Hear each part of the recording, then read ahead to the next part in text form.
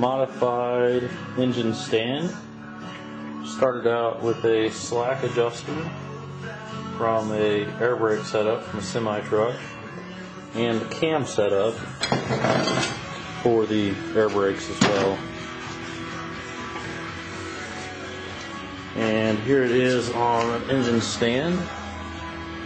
There's the slack adjuster.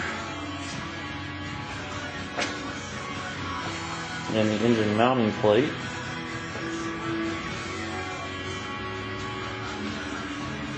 And with the turn of a knob, it will rotate the engine. It's got a 22 to 1 gear reduction on it.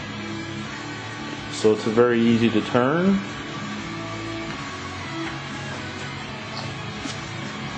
And it also mounts